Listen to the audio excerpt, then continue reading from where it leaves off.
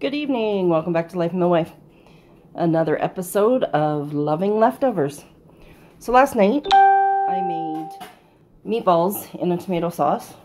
So I'm going to now make kind of like a sloppy joe.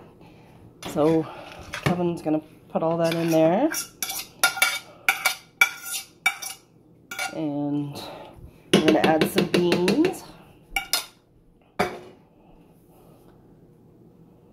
There's probably a piece of fat in there you gotta take out. Usually is. Mm -hmm. I missed it, so. And then, yeah, whatever spices. Doesn't matter. I think Kevin's got a little bit of parsley there. And what do you got there? Basil. And some garlic. And I didn't have any chili powder, so I'm going to use a little taco seasoning.